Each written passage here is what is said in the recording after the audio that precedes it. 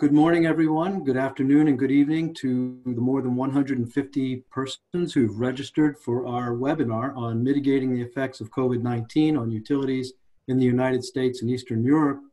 I'm Will Polen, and it's my pleasure to uh, welcome you to the webinar. I'm a senior director at U.S. Energy Association and director of the Energy Technology and Governance Program, uh, which is the uh, program jointly operated by U.S. Energy Association, USEA, and USAID uh, for uh, to support energy market reform, and infrastructure development uh, in Europe and Eurasia. We've had a tremendous third, nearly 30-year partnership with our colleagues at USAID, and it's their uh, generosity of time and funding that makes this webinar and the Energy Technology and Governance Program possible.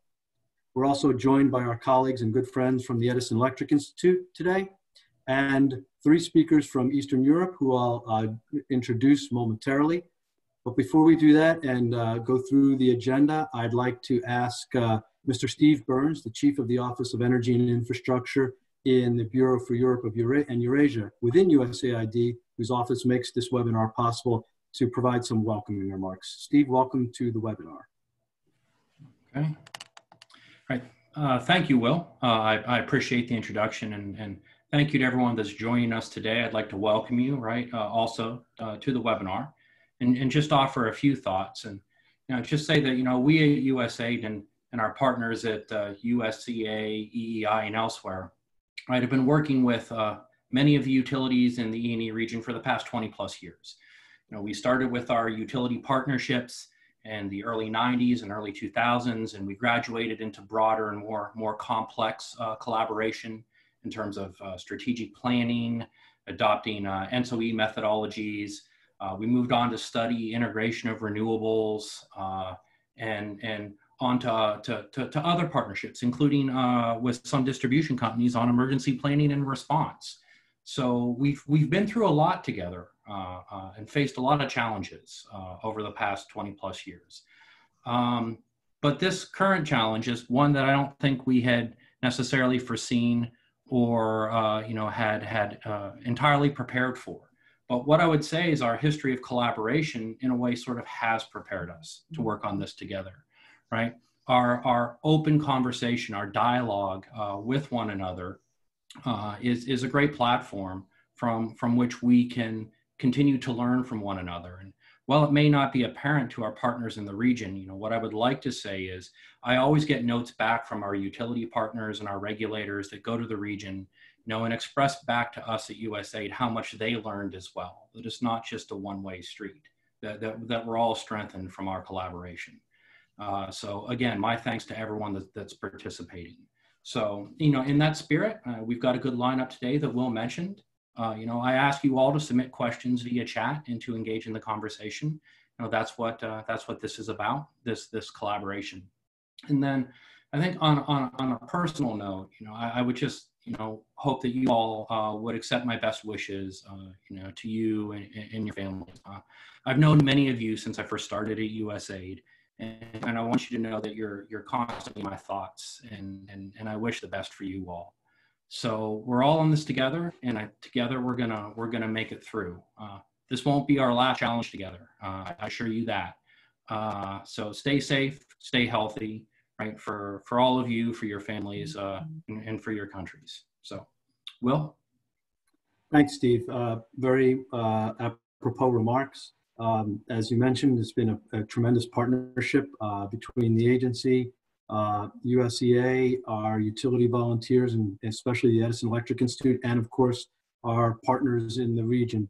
And uh, we've overcome many challenges, and uh, this is just another one of them. Maybe one that, as you say, have, we haven't foreseen, but uh, we'll do it together. And I appreciate that the sentiments that you expressed. As we uh, as we move forward in the webinar, please, uh, for those listening in, please maintain a mute on your microphone, and remember to submit questions in the chat box. Uh, we'll take questions as we can.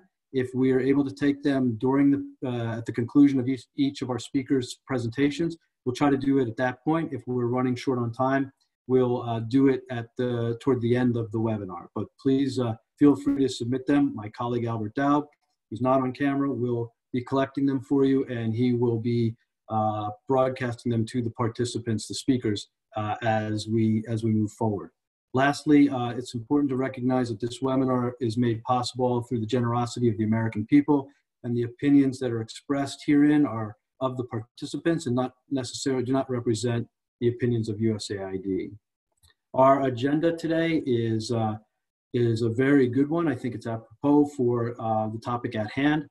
Uh, we'll begin with um, Scott Aaronson and Dave Batz of the Edison Electric Institute, who are working in a group called the Electricity Subsector Coordinating Council here in the United States. They're working with their colleagues at utilities throughout the United States, collecting and disseminating best practices that are evolving and, uh, and developing uh, within the utilities. And it's a tremendous function that they're providing to share this best practices. We've shared a link with you to the resource guide uh, in the uh, email you received from Albert Dowd this morning with the password and link.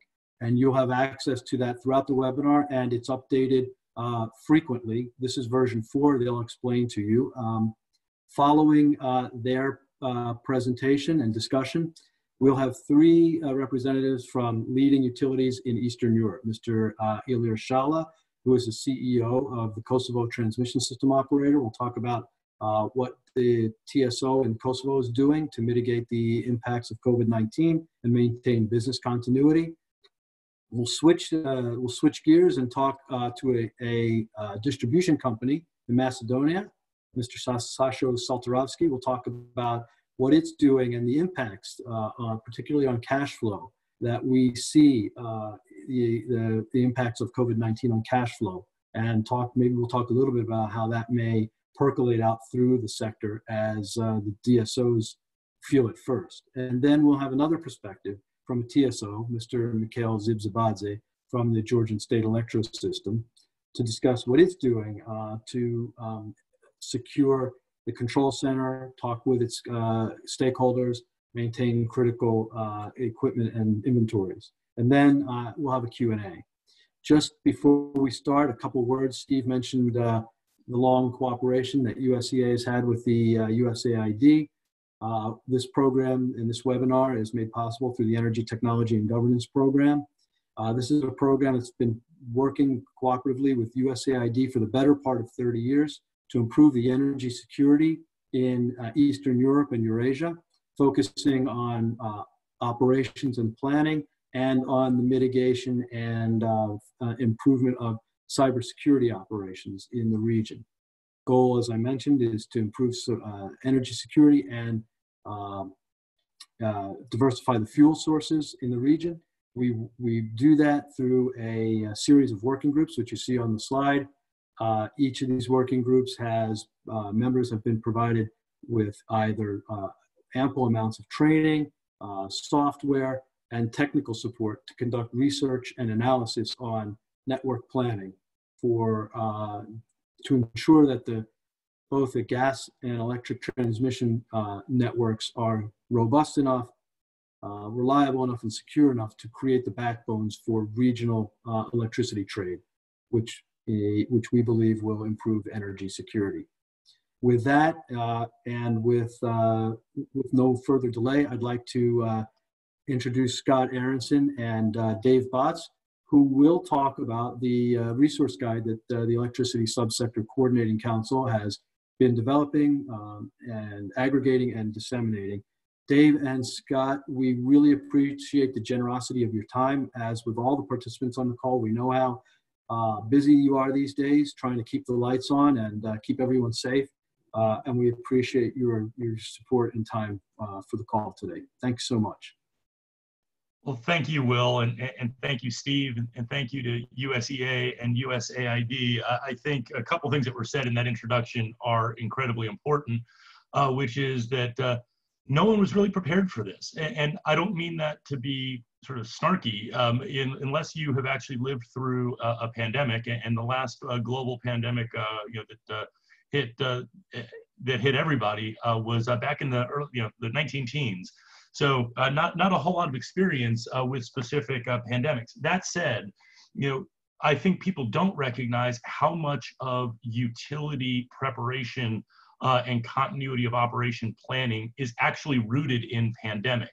Uh, and the reason for that is that it's a good thought exercise, right? If I don't have access to these people or these facilities or these supply chains, uh, what am I going to do to remain operational?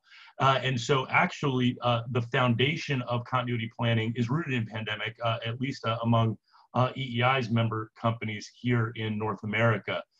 Um, maybe I should talk about that really quickly. So EEI, many of you know, represents uh, the investor-owned electric companies in the United States, but we also partner very closely with municipal systems, cooperative systems, independent power generators, our Canadian partners, because it is an interconnected North American grid. Uh, and so that relationship takes the form of the Electricity Subsector Coordinating Council, which is a representative body of CEOs from all of those segments of the sector here in North America that work under blue skies to prepare for uh, all manner of threats to utility operations. Uh, when an incident happens, uh, whether it's a cyber threat, a physical threat, the storms, uh, hurricanes, earthquakes, wildfires uh, that we see, uh, the ESCC stands up in a battle rhythm, in an incident response cadence.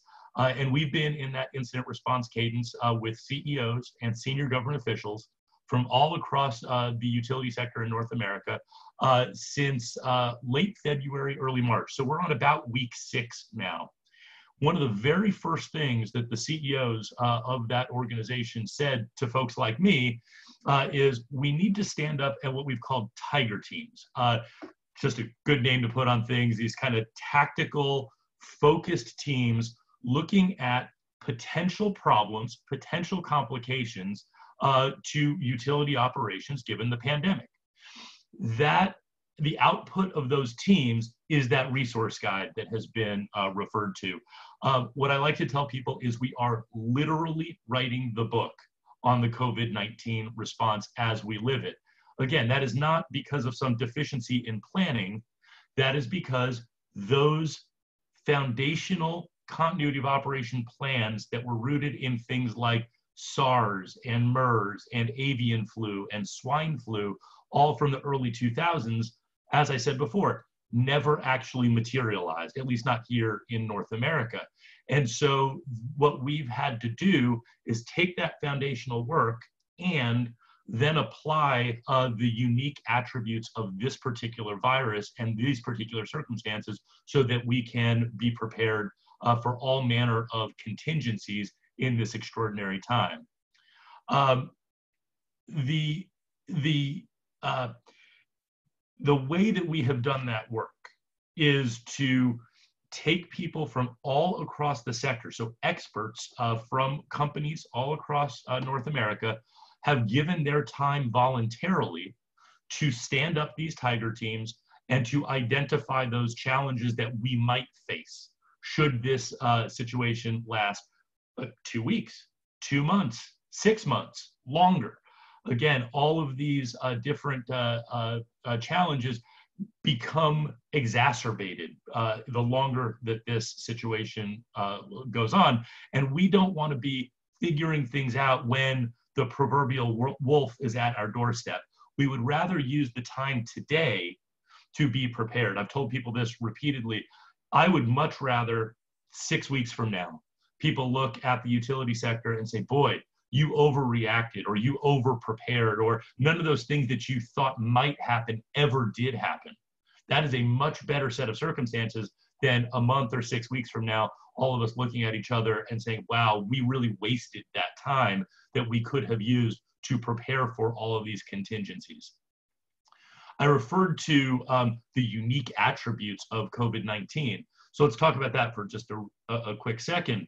Uh, again, SARS, MERS, avian flu, swine flu, all of those were uh, foundational. They, they were, but they were written in the abstract and they didn't have, uh, uh at least here in North America, specific impact. So the impact that we're seeing from COVID, you have uh, people who are highly contagious while asymptomatic for up to 10 days to two weeks that really creates a challenge for operations, keeping your employees healthy.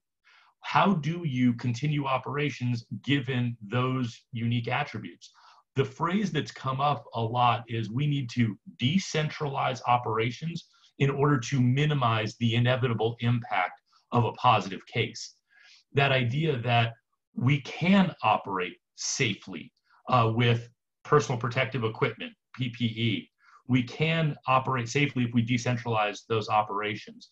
We can operate safely if we uh, identify those highest priority, hard to replace workers uh, that we need to keep healthy and in the fight at all costs.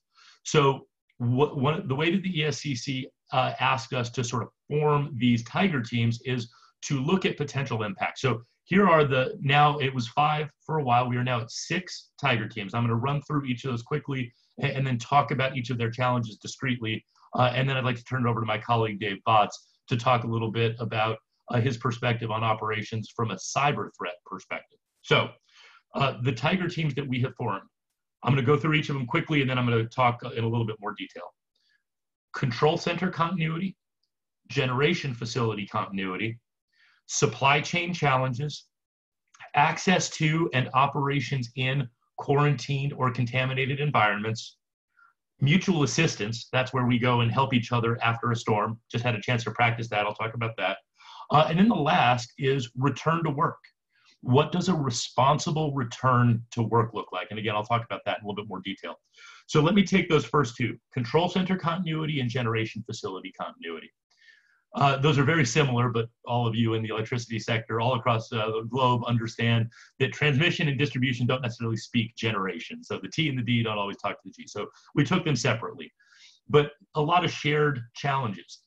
These are highly skilled, hard to replace employees. Uh, these are nerve centers of our operations. These are places that have to remain operational uh, and have some unique challenges, whether it's close quarters, uh, whether it is a lack of redundancy. Uh, most of these have a, a, primary and a secondary, but but some in some cases you have a high priority uh, facility. So our companies uh, here in North America have wanted to decentralize operations. So one way you decentralize operations with generation and control center facilities is you go to those primaries and those secondaries, you go to backups, you use that redundancy that is inherent to the system. But that's not always an option. If that's not an option, the other way that we've kept these systems operational is to go to what I consider, and many of our companies consider, an extraordinary measure that is sequestering or quarantining healthy employees at the facility or in uh, vehicles, uh, uh, sleeper uh, vehicles out front, or in local hotels. Uh, and so, what are the protocols for keeping those people healthy? How do we test them before we put a healthy person in with a potentially sick person and contaminate an entire shift?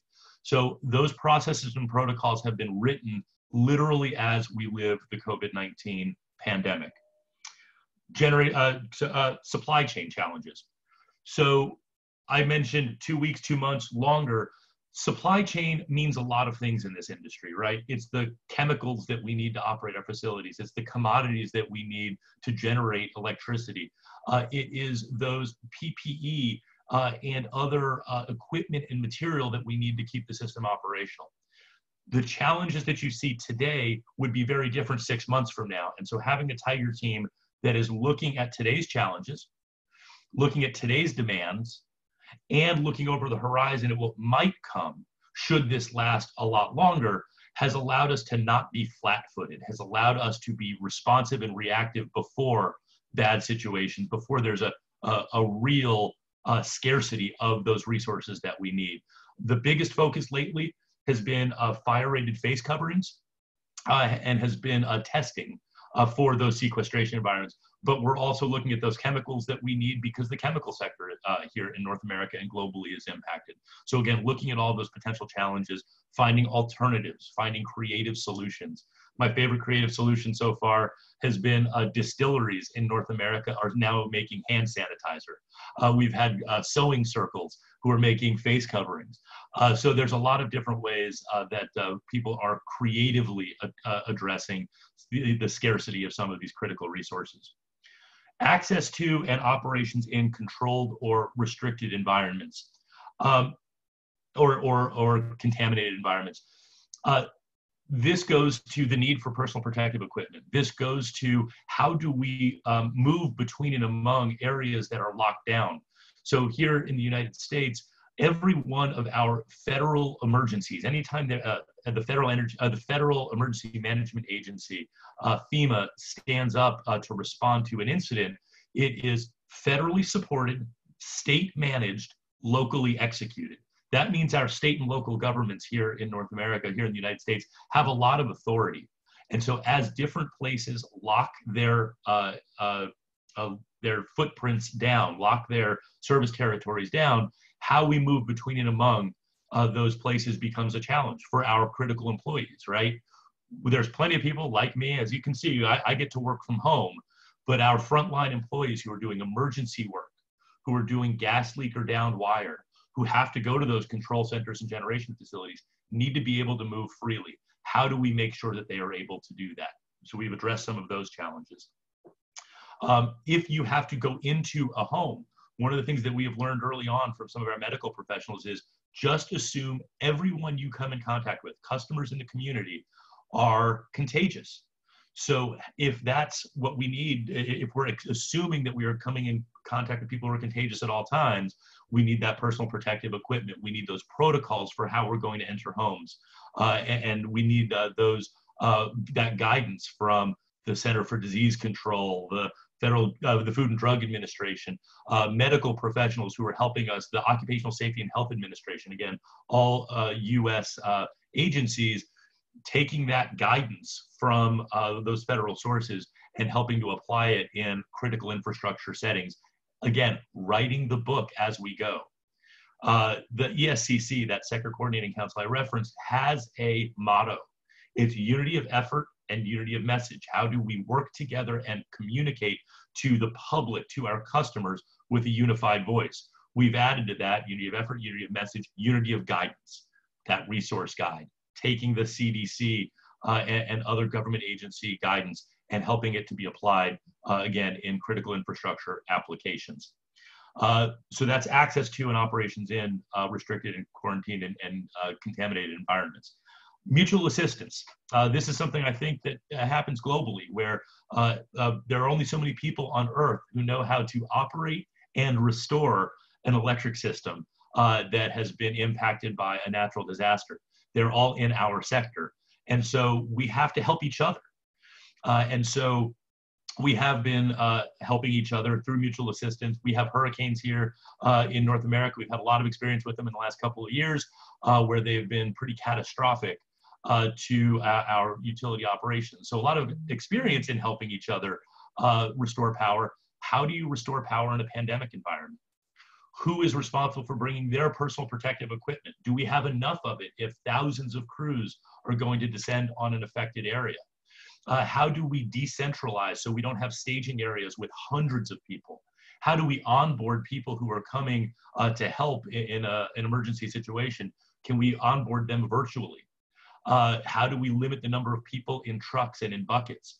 What kinds of PPE do we need to allow those people to operate safely in this customer facing, community facing environment? Uh, fortunately, we developed some of those uh, uh, checklists several weeks ago because uh, over the last 96 hours, uh, we had had a lot of tornadoes and serious straight line winds that impacted more than 1.5 million customers in the southeastern and, and uh, northeastern United States. Uh, that experience, because we were not flat footed, because we did not wait for the challenge to, to face us and, and then have to start figuring out what those protocols were going to be, we were better prepared. And we are already doing after action. What have we learned from the nine, last 96 hours of, of severe spring storms that we can apply to uh, the hurricanes that we're uh, likely to see or the wildfires that we're likely to see uh, later in the summer? Uh, finally, and, and, this is one that's a little challenging, this idea of return to work. Uh, how do we uh, responsibly return in a way that doesn't show that we're taking our foot off the gas, that we recognize how important uh, uh, the preparations for operations in pandemic environment are, but understanding that we're going to go back to something that resembles normal. And again, there's going to be challenges to this new normal. What can we do today so that we are not preparing for or responding to or reacting to those realities uh, uh, at, at, at, when when the uh, when the the challenges are upon us. Let's think about it now. So with that, uh, I, have talked to you a lot. I do want to turn it to my colleague Dave Batz, and I'm going to do it by explaining this. Anytime there is an incident, uh, the scams uh, and cyber threats uh, are uh, amplified. We, we see more of them. The good news is we're used to that, especially with all the storms that we've seen. Uh, we know what happens. Our, our, adversaries and just people who are looking to take advantage of the situation uh, will, will, will come out of the woodwork. So, in addition to all those operational challenges we have, we've also got some cyber challenges that Dave can talk about.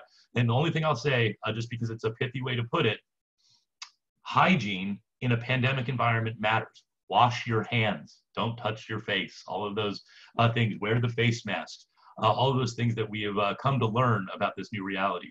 Well, cyber hygiene matters also. So be aware, be prepared, understand uh, that, uh, uh, that, that, that adversaries take advantage of these situations. and just as with all those other operational challenges, let's think ahead of time before we are caught flat-footed uh, and, and, not prepared for uh, the contingencies that this pandemic is throwing at us. Uh, and we'll keep writing that book on pandemic response. And it is a public document. So I appreciate Will and Steve referencing go to electricitysubsector.org. Uh, that is uh, our website uh, that houses that. By definition, pandemics are global.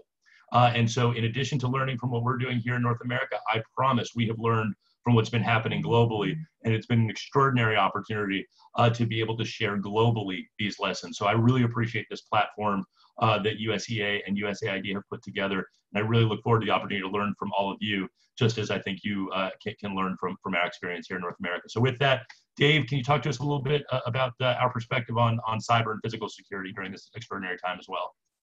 Yeah, thanks much, Scott, and thanks also to USAID and USEA for this opportunity to share.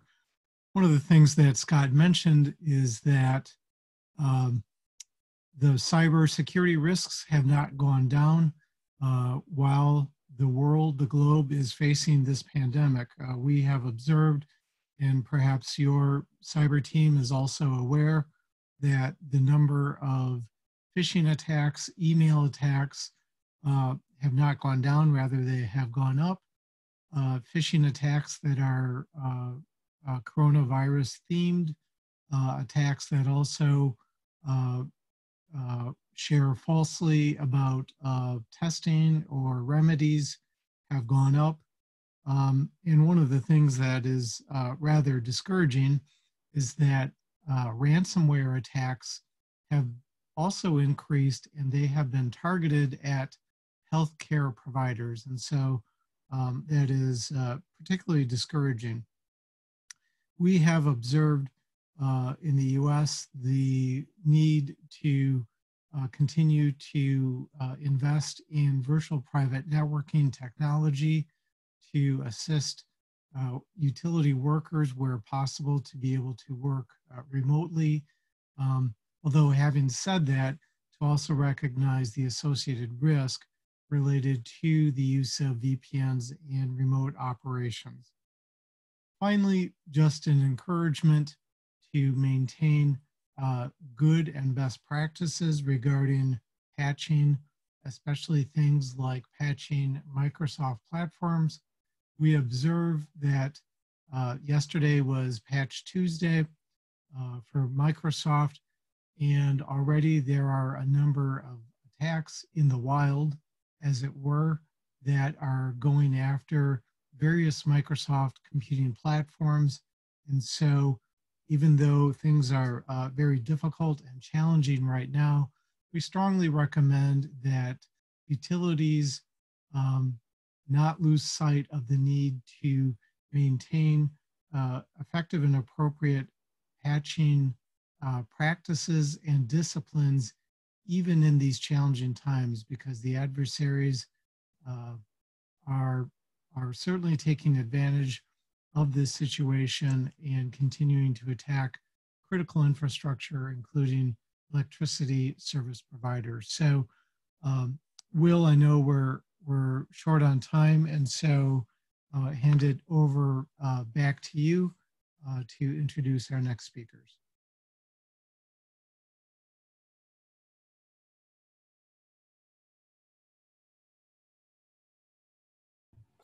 Yeah, thank you, Dave. Uh, thank you very much to you and Scott for a really uh, thorough and informative presentation.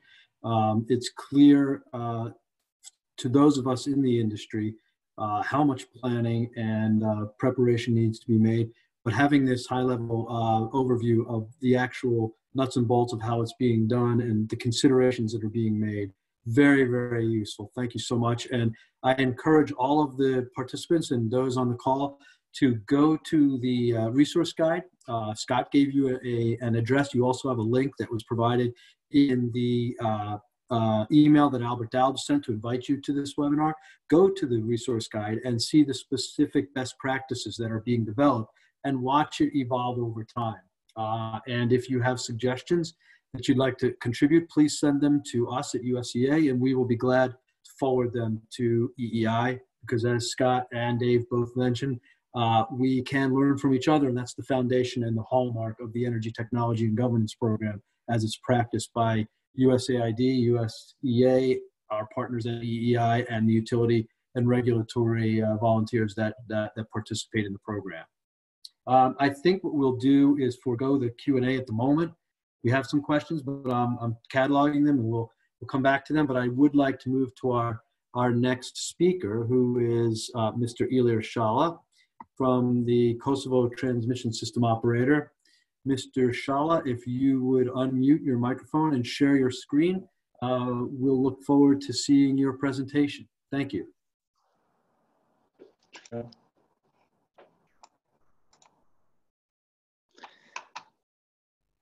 Okay, hello to everybody.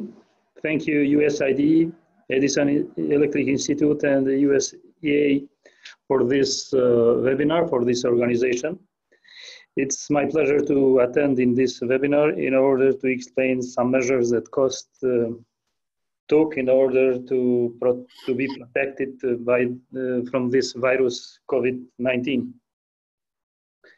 So before uh, showing the presentation, I would like to say that uh, me, as a leader of this company, together with my staff, we tried and we succeeded up to now to be calm and confident. Also, we wanted to make and we tried and we succeeded to communicate with all employees in order also they to be calm in this difficult situation with this COVID virus. And the collaboration as well, we succeeded to create or to establish the task forces or sub task forces in order uh, to manage this uh, situation. Uh, I think uh, that compassion is extremely important at this time because some of our staff or employees want to to have some uh, time off if they want to work from home if they need to have a little bit of space to look after their family members so we consider this and we we manage this.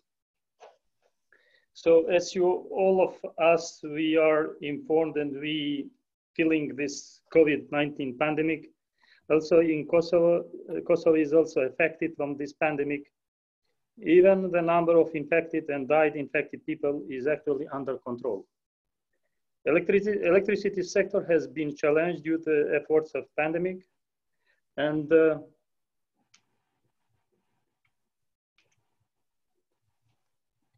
Uh, do you see the presentation or?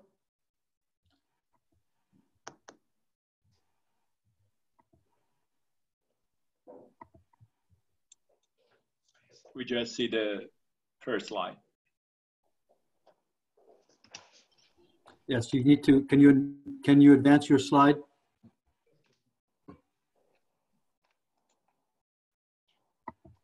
Yes, thank you. Okay, sorry for that.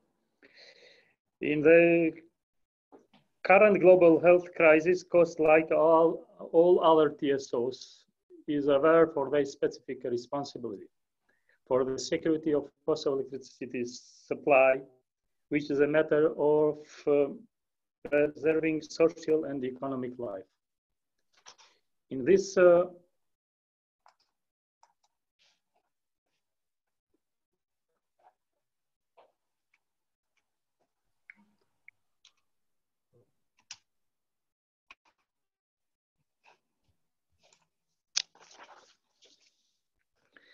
So taking consideration all this uh, situation with COVID-19, with this virus, KOSTT uh, immediately took all technical measures and financial analysis and uh, in order to be stable and uh, to, uh, to operate and as a transmission system operator and to have uh, the supply of electricity to all consumers in, in Kosovo.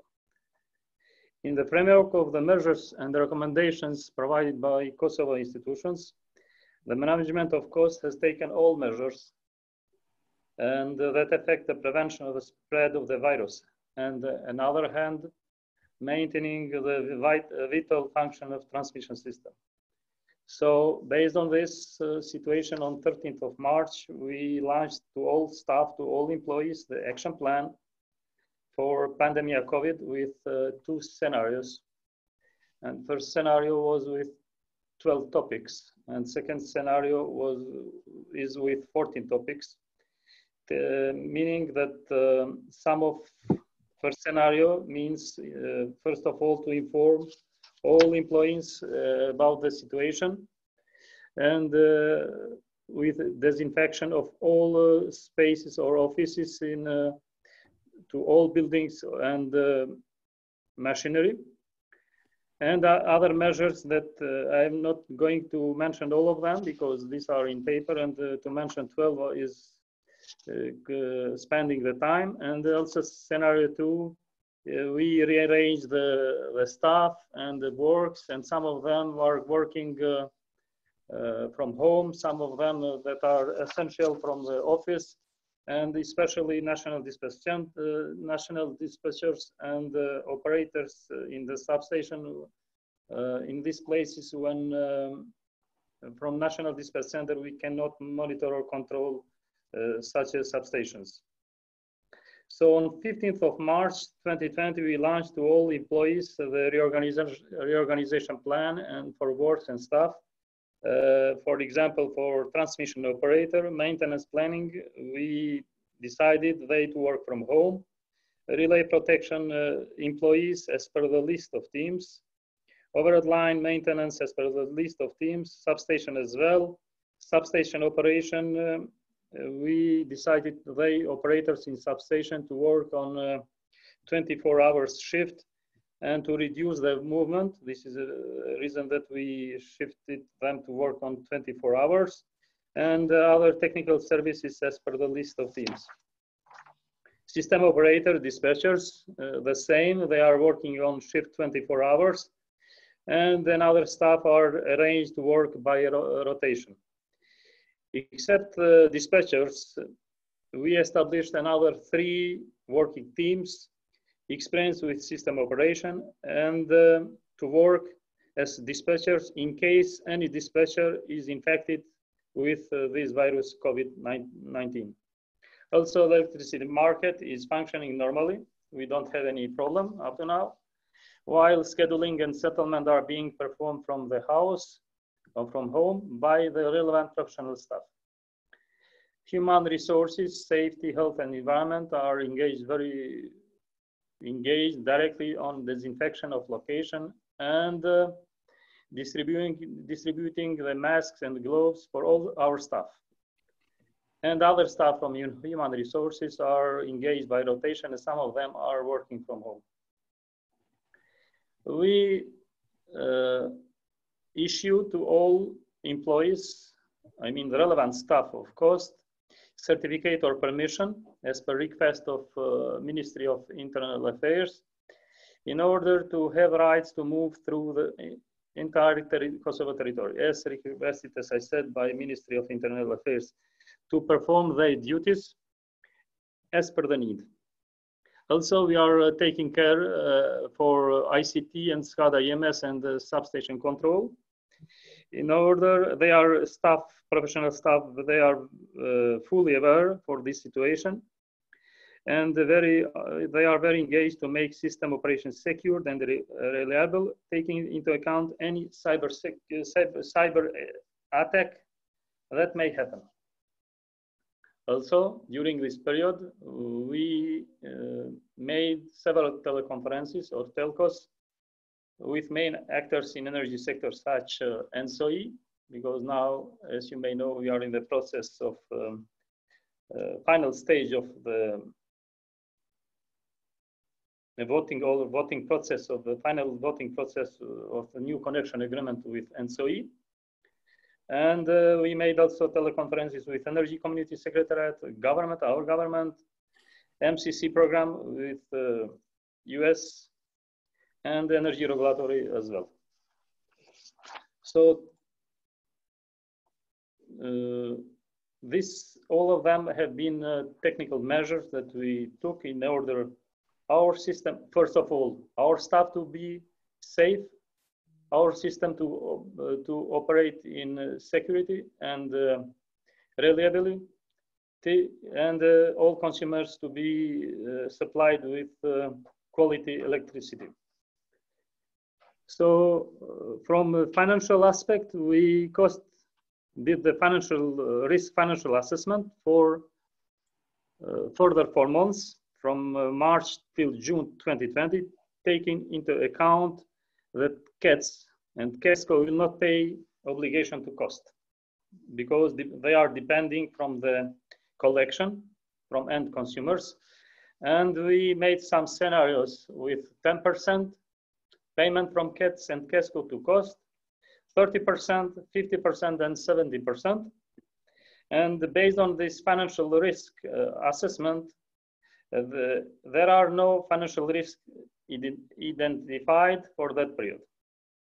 Another uh, side, all KOSTT uh, employees receive the salaries on time because, uh, as you know, some maybe some public uh, or another TSOs they have problems with uh, salaries or private sector in the world, but up to now we don't have such a problem. Also, we are continuing with procurement activities, including um, that for uh, reserve services secondary and tertiary regulation for function, functioning as a control area within control block with OST Albania, because this is very important for us. Uh, since, as I said, we are in the final stage of voting process with uh, ENTSO-E for new connection agreement. And after this uh, process of uh, voting, another step is signing of the new connection agreement with this new connection agreement with ENTSO-E, will become independent control area that will operate together jointly within control block with Albania. So from my side, no any issue to mention. So I would like to thank you all attendees in this uh, webinar. Thank you. Okay, thank you, Mr. Shala. Uh, if you appreciate your view from Kosovo, I wanted to uh, take uh, ask uh, two. There were two questions that came in uh, while you were speaking. Uh, they were uh, dedic- They were intended for Scott and Dave. One is a question: Are there medical staff on utilities in in the United States, and how are they? What what sort of authorities and guidance do they provide to the utilities on a day-to-day basis? So the answer to that is it depends. Uh, there are some companies that have uh, chief medical officers or medical teams. Uh, many companies have um, at least some sort of medical uh, uh, practice uh, where, where they're supporting occupational safety and health issues. Um, increasingly, in the last several weeks, you might imagine, uh, companies are also partnering with local uh, hospitals and, and uh, medical providers, uh, as well as with uh, epidemiologists. Uh, sort of similar to how we work with meteorologists, understanding um, risk, understanding what might happen next, understanding where the hotspots are going to be, understanding best practices and guidance for for, for medical response. So it's a blend, and I would also expect that after this, there's going to be a lot more recommended practices around um, uh, employing medical professionals for uh, preparation for pandemics. Great, thank you. Um, one, one quick question for Dave Batz uh, from a colleague uh, in Ukraine. It appears that in Ukraine, there's been a three to four fold increase in attacks on VPN networks. Are we seeing a similar increase in North America? So thank you for the question. Um, we have seen an increase in attacks. I don't know that it is at the same level as is being experienced in Ukraine. In addition, one of the challenges is that um, there have been capacity challenges with VPN uh, uh, appliances in that uh, more staff are using more capacity of the VPN than it was initially uh, provisioned for. And so um, many companies are uh, working to increase their VPN uh, capacity to allow for additional staff to use the solution. Thank you. Okay, thanks. Thank you, Dave. Um, I'm going to uh, move on. I'd like to move on now to our uh, our next speaker, Mr. Satirovski from EVN Macedonia, that will give us the uh, who will give us uh, a perspective from uh, the DSO, the distribution system operator perspective. Thank you, Sasha, for joining us. It's greatly appreciated.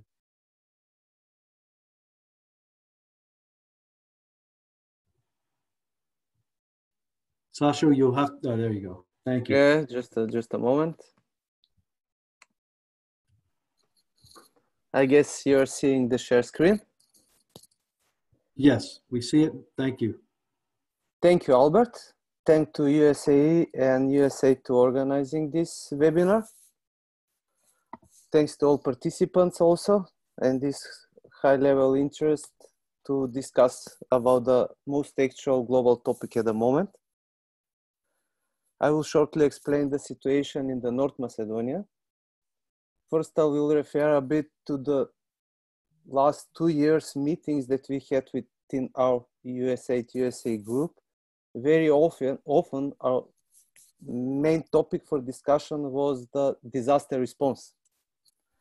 But honestly, we have to confess, we always thought about, I don't know, earthquakes, some weather issues, and all actions that we discussed were how to sit as fast as possible together, how to organize the crisis management, how to organize the crews, but everything was discussed more how the people to be together and to work together in order to, to solve the issues. We never ever thought up to now for pandemic or the actual issue, neither in the company, neither on our meetings. So this is quite opposite for whatever we discuss because now everything that we organize we should organize from the distance and not sitting together so this really surprised us a bit and there is a lot that we can learn from the from the situation mm-hmm. North Macedonia is one of the countries that I think implemented one of the most radical measures, not that each country followed, but everything started on the 10th of March, recently after the discovering of the first corona case in Macedonia. So the whole kindergarten, schools, and university was closed. Very soon afterwards was also closed all shopping malls, restaurants, cafe bars, and one week later even was uh, announced the emergency state in the country and shortly afterwards the curfew started first it first in first couple of days they started from nine o'clock until five o'clock in the morning but soon later on or let's say from 8th of april the curfew was starting from the afternoon 4 p.m. until 5 p.m. and the whole weekend. So this was quite big challenge, not only for the citizens, but for also for the companies like us to organize our work, which has to be 24.7. A lot of administration, a lot of documentation, a lot of permissions necessary in order to be able to, to organize the shifts and that people can work normally on their activities, especially to secure the electricity supply. What were the measures that we mainly implemented? I think they're more or less similar in each country and in each company. First, we try to minimize the face-to-face contact and to make the backup whenever this is necessary, especially for the critical staff and the critical departments in the company. Face-to-face meetings we digitalized as much as possible. So we try to avoid the personal contacts within the company. We try to decentralize the functions as much as possible. Many contact points. We have the front offices decentralized in each city, which is the contact center to the customer. We close them. We started with a limited capacity, but soon later on we closed fully. So all the contacts we digitalized via the call center or uh, email communication.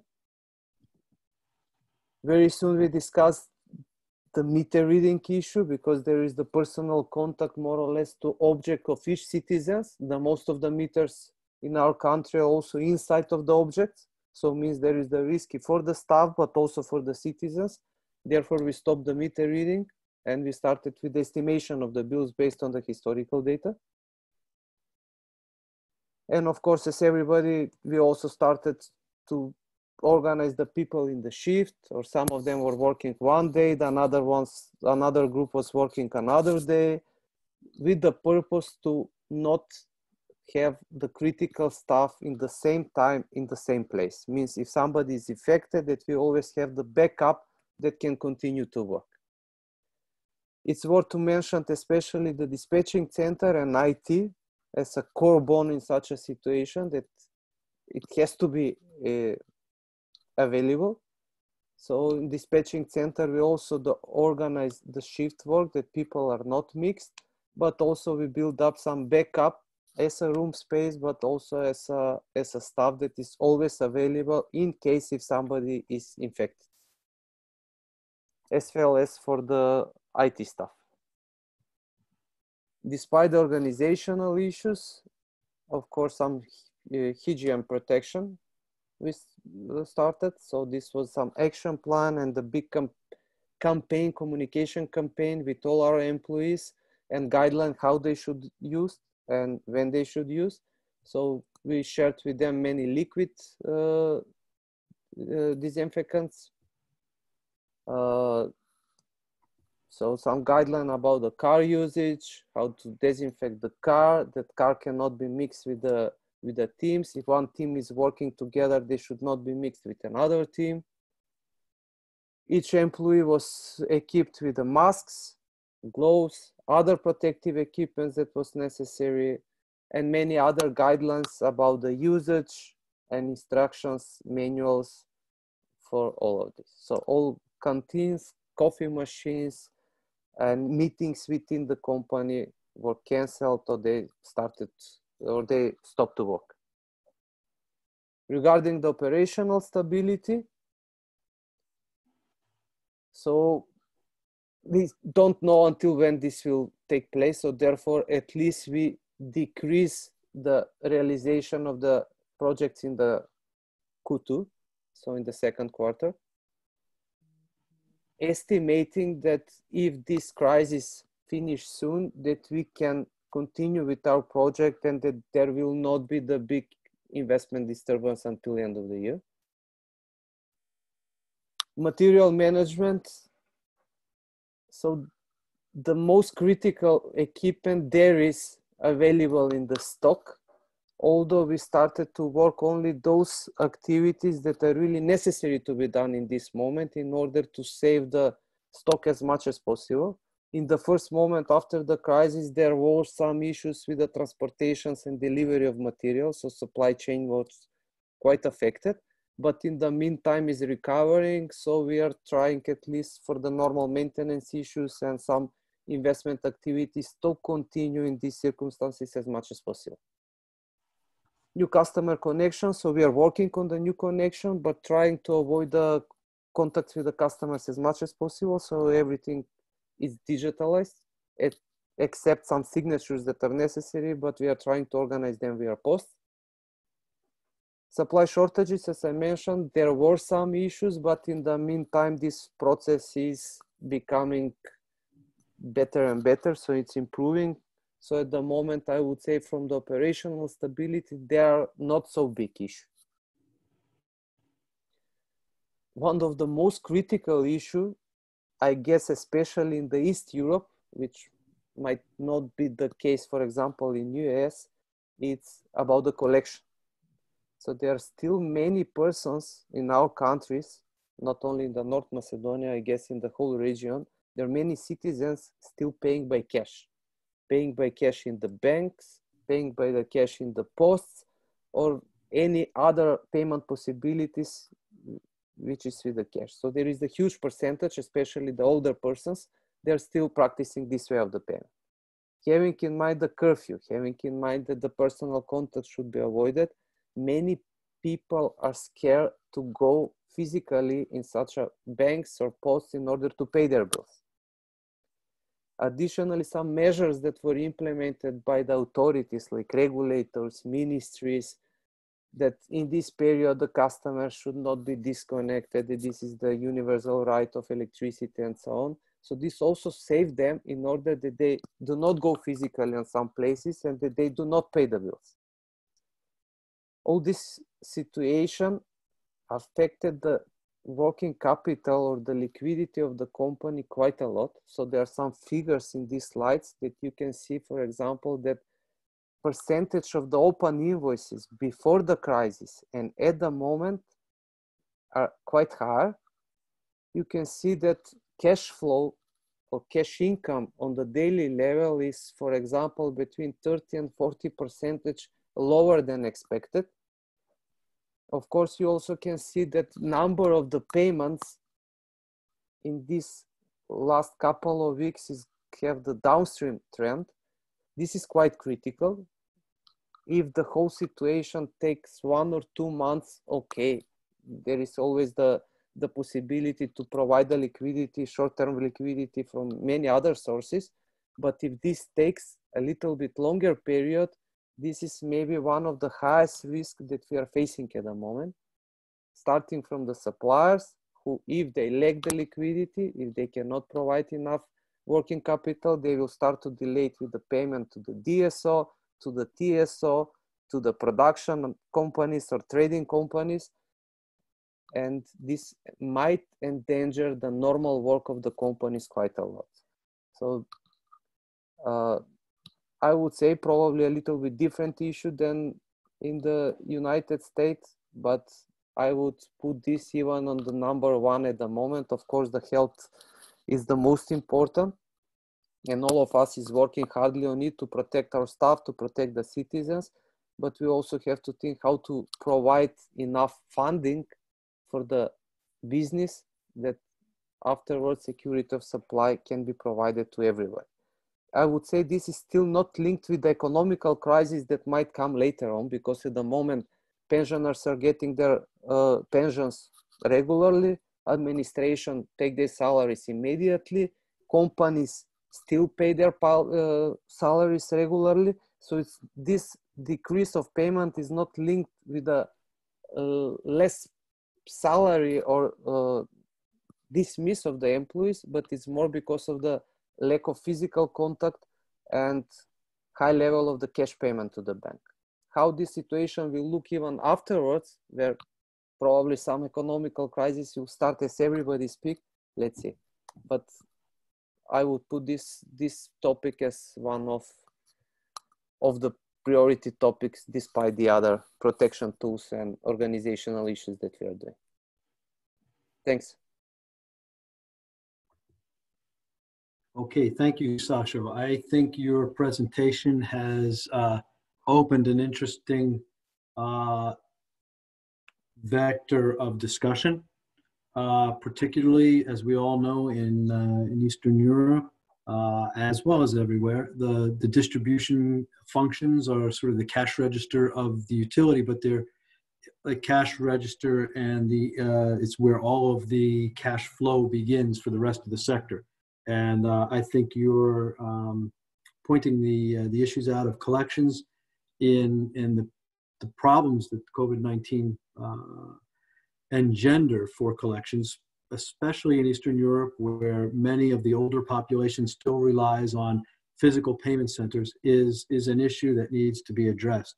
Um, if Dave and Scott are still with us, are we seeing any pressure on utilities as uh, the economic crisis here deepens on their cash flow? And is this an issue that is being dealt with uh, by the count, the coordinating council?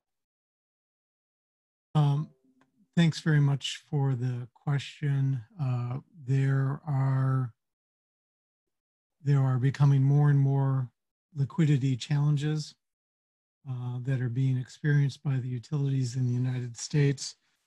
One of the issues is that um, because the situation is really negatively impacting customers and and our unemployment rate in the United States is going up uh, very significantly.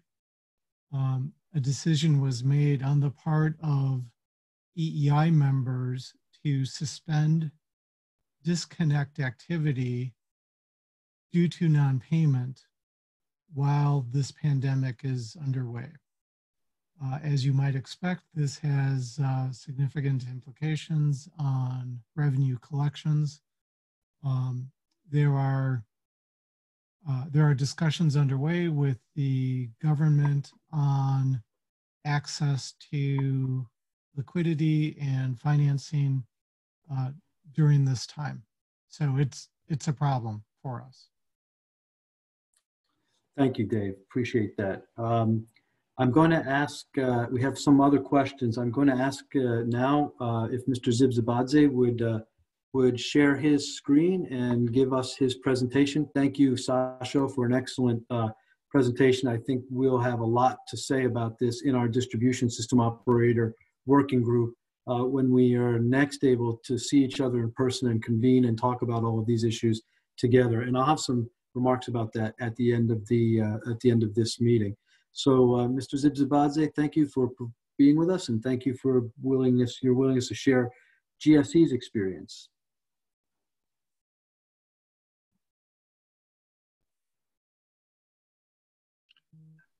Is it up the presentation? Yes, we hear you and see your presentation. Thank you. So dear colleagues, uh, thank you very much. It's a pleasure and honor to have this opportunity to share some thoughts on anti-COVID-19 measures that we implemented at the Georgian State Electrosystem. Uh, my first slide is about the corporate profile, which I'm gonna skip for those of you who don't know who we are, uh, GSE is a transmission system operator in the country of Georgia. We are in the middle of the value chain. We transmit electricity from power stations to distribution companies uh, through high voltage transmission lines and substations. Uh, I would like to mention a couple of words about our pre-COVID-19 uh, readiness uh, two or three years ago, we have developed our business continuity plan. Uh, and by then, we knew that uh, low probability and high impact events would happen uh, sooner or later. So we were contemplating about different scenarios. We thought about earthquakes because the earthquakes happen from time to time in our country, um, floods as well we, we, we even thought about military activities because we've seen the full-scale military activities in our country uh, 12 years ago. But we never thought about a, a virus. Uh, but I still think that uh, that type of mindset, that anticipation, helped us a lot.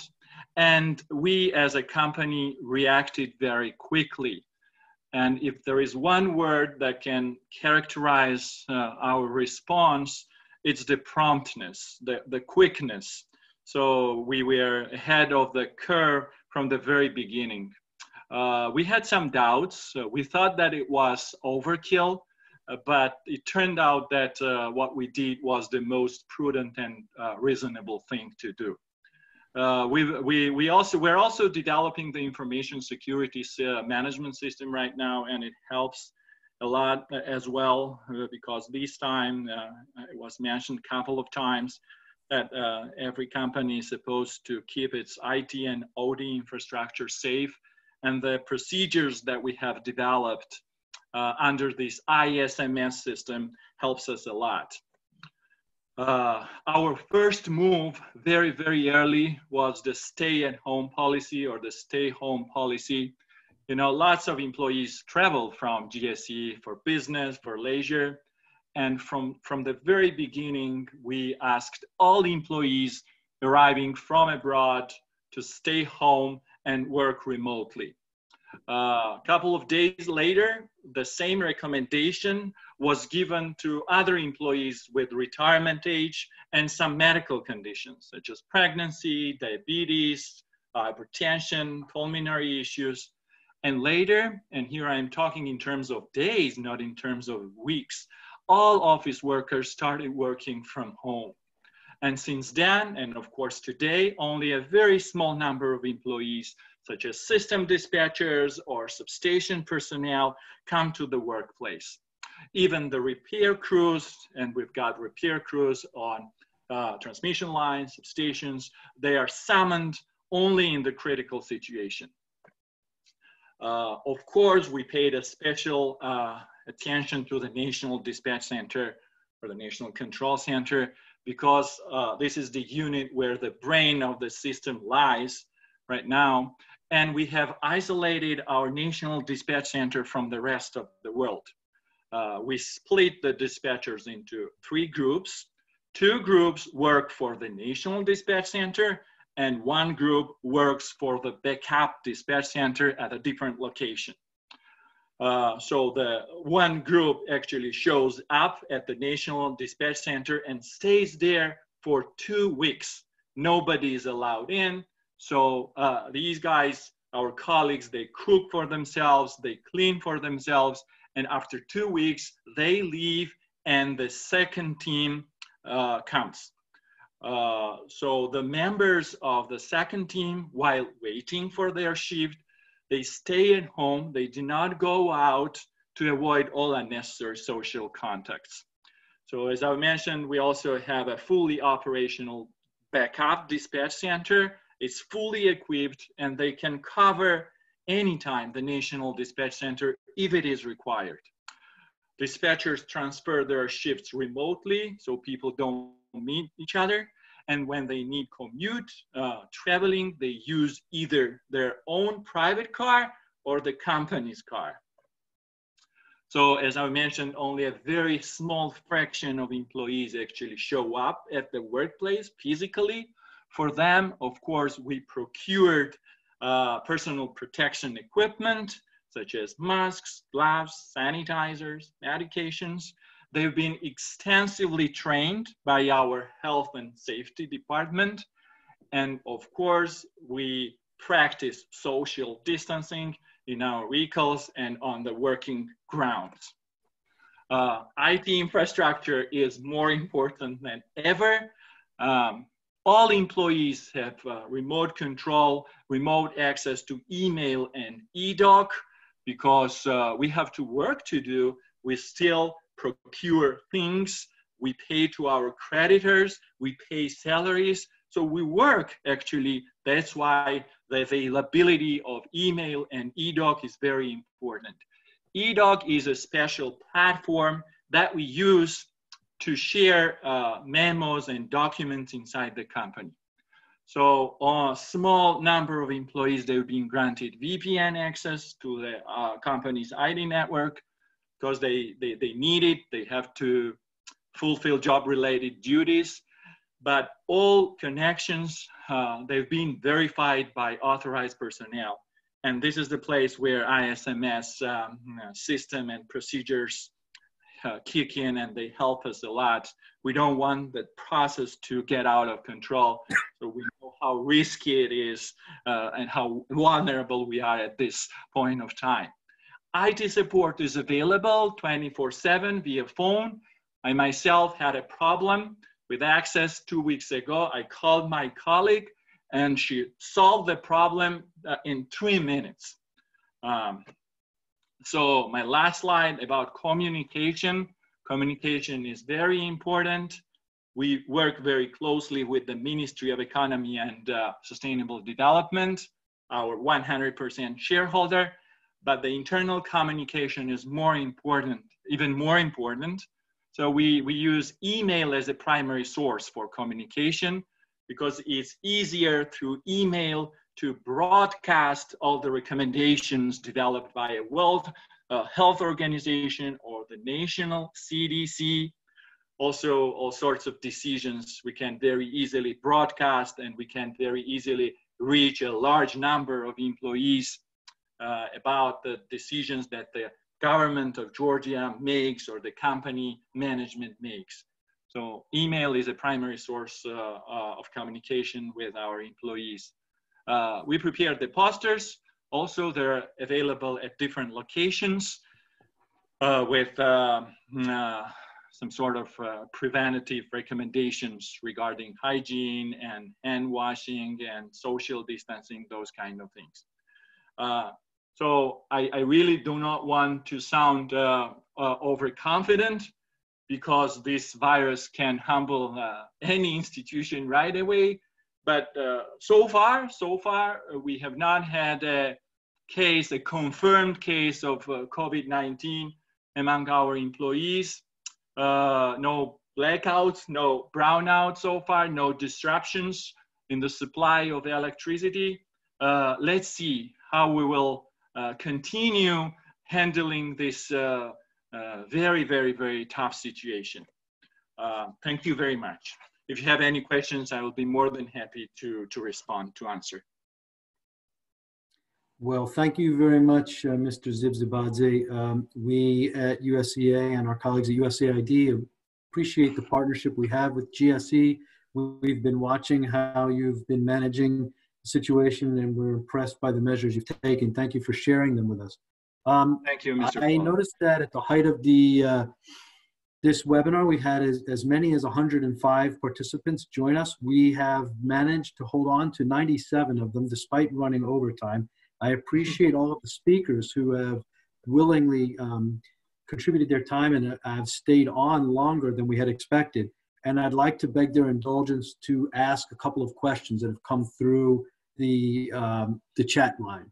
One of them uh, relates to preventative maintenance. And here we're particularly interested in this because as I mentioned in my opening remarks, the programs that USEA and USAID are focused on relate to energy security. Uh, and we all recognize the importance of the sector to uh, social well-being and energy security obviously is paramount. Um, a question came in related to preventative maintenance. Um, how are the, uh, the TSOs and the DSOs managing preventative maintenance in this period of time? In Eastern Europe, and I'll, I'll also ask uh, perhaps if Dave would like to comment as well. Uh, is is preventative maintenance being uh, delayed, and uh, if so, is it a function of uh, uh, just being protective of personnel? Is it a function of um, cost? And what are the long-term ramifications that we might expect to see six months from now if we're delaying preventive maintenance? So maybe um, uh, I can ask uh, Mr. Zibzibadze, since he was our last speaker, uh, to talk to that. Um, and then we'll, we'll go around the, the horn here and ask some of the other participants. Mm -hmm. Uh, we do the preventative uh, maintenance if it is absolutely needed. For example, uh, cutting of the trees is vital because the, the branches can damage the overhead transmission lines and you have to do it especially now in spring. Uh, otherwise, uh, it will be a mess. So we do the some some some portion of preventative maintenance, but again, um, by considering the the, the risks uh, and uh, by carrying out all necessary preventive measures. Uh, so social distancing, uh, personal uh, protective equipment, they're all available for our employees, and we do the preventative maintenance okay, uh, from time to time. Yes, we do. Mr. Shala, would you like to comment? Uh, yes, um, thanks for the question. Uh, as KOSTT, uh, our maintenance teams, uh, we already we had one request for power outage of one interconnection line with Montenegro, and uh, this will be on uh, next week. So you use this opportunity to maintain our transmission line mm-hmm. and uh, the feeder or bay 400 kV in the substation Kosovo B, taking into account all measures that are uh, instructed by Ministry of Health, uh, social distancing and uh, other measures for the health. So we'll continue, uh, depends from the request or uh, the main goal is to be secured on interconnection lines with uh, Montenegro, as I said, with Albania, North Macedonia, with Serbia as well, and uh, our transmission system to operate uh, safely. Okay, thank you, Mr. Shala. Very helpful. Dave, a quick question to you. Um, we have been, as you know, you've been a stalwart uh, charter member of our utility cybersecurity initiative working group, and we've tried to develop a, a risk-based approach to cybersecurity. I know this is a little bit outside of your uh, of your area of uh, coverage at EEI, but are there tools like a uh, a risk-based approach to evaluate which preventive maintenance might be taken uh, and which may be able to be deferred uh, as utilities have to make these decisions, both from an, uh, perhaps from an economic perspective as well as from uh, a personnel protection perspective. Yeah, uh, thank you for the question.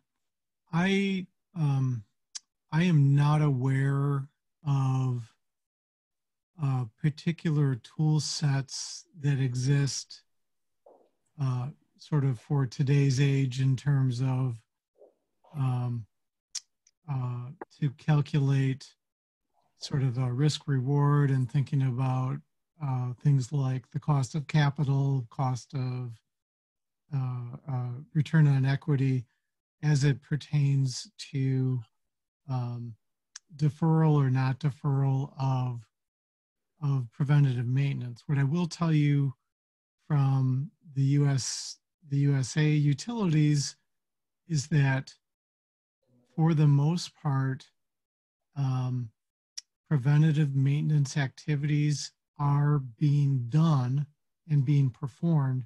And I appreciate the, the contributions from the other utility representatives on the call today is that um, these measures are being taken uh, with careful consideration for things like uh, distancing where possible, appropriate use of personal protective equipment, etc. But as a general matter, um, the U.S. utilities are are doing maintenance activities because, as as the listeners today can appreciate and understand, uh, you you have to do preventative maintenance, otherwise you'll you'll end up with a very much larger problem. Uh, and Scott also mentioned that um, we've already uh, had mutual assistance events where we had a, a line of very catastrophic storms go across uh, multiple states in the United States. Um, as I understand, there were on the order of 19 fatalities, N not utility fatalities, but, but just general population fatalities in multiple states uh, over the weekend. And so um, the utilities are already wrestling with these issues, um, but attempting to, to perform restoration and maintenance activities using good practices and trying to protect themselves and protect their coworkers. Okay, thanks, Dave. I um, I suspect that uh, in Eastern Europe, this will be a question that we will uh, the, the ramifications of which we'll only know in the future as preventative maintenance may, standard preventative maintenance may be being delayed. It's something that I think we should consider in, in our working groups to, to discuss. I think we have time for one, uh, one more question, um, which uh, was asked for Mr. Shala. Mr. Shala, can you tell us um, what you see in terms of changes in your load uh, now that uh, the COVID-19, the effects of COVID-19, the work at home, uh, and only essential workers reporting to their jobs, the effect on the economy. What has been the effect on the load uh, curve in uh, Kosovo? Uh, comparing with last year period with the same period with now, the consumption is doesn't have any difference. For example, uh, the peak now is around uh, 800 uh, megawatts. For example, last night was around 20 or 8 o'clock evening. So since we as a Kosovo, you don't have such a high development of the industry. Uh, I don't see any possibility to be increased the or to be decreased the consumption to be decreased the consumption in in our in our country. Okay, thank you. So maybe. Uh, oh, yes. I'm sorry. Please go ahead. No, it's okay. Okay, thank you. Um, maybe the same question to GSE, Mr. Zibzibadze. Are you seeing a pronounced uh, change in the load profiles um, as compared to pre-COVID? Uh, uh, do you hear me? Yes. Yes. In April, I'm just checking the numbers right now. Uh, we are 6.5% down in terms of kilowatt hours. Okay. In April. Yes. Uh, okay. Thank you. Mm -hmm. Well, I think um, I want. I think that we've uh, run over the time that we had originally allocated here. I see that we still have 90 participants uh, on the line, so it means that we're uh, hitting the right targets in terms of the discussion. This is, has been quite an informative discussion, and I think it will inform the work of each of our ETAG working groups in the future. Um, I want to uh, say to our DSO working group in particular, those of you who are on the line, that I, um, I very much like the model that uh, EEI is pursuing with its partners in, in, in the United States in terms of this electricity subsector coordinating council, in particular how it's um, working on the COVID-19 and developing a set of best practices. And I would challenge you as members of the working group to think about how we might employ that model in our, in our region, in Eastern Europe and Eurasia, Southeast Europe in particular, and develop a, a, a capability that can um, work where we where in which we can work together. And you may remember that that was the sort of uh, foundation of the of the working group in the beginning. And let's think about how we can return to it because I think there's this this business model that uh, we've seen and EEI has uh, demonstrated to us. I think could be very effectively used in Southeast Europe. With that, I want to thank all of our panelists for a tremendously thoughtful and uh, instructive set of uh, presentations and discussion. I wish that we had more time. Obviously, it's of great interest to those in the region. Uh, as I said, we'll take this up uh, in at further when the next time we can see each other. I want to thank all of the participants who've remained on the on the line with us. And before we adjourn, I wish you the best of health and safety for you and your families. I look forward to the time when we'll meet again in Europe through our working group meetings. And until then, we'll use platforms like this to stay connected. Thank you so much. And, and God bless all of you. Stay healthy and safe. Thank you. Thank you. Thank you. Thank you very much. Thank you. Thank you. Bye-bye. Bye. All the best. Bye. Bye-bye.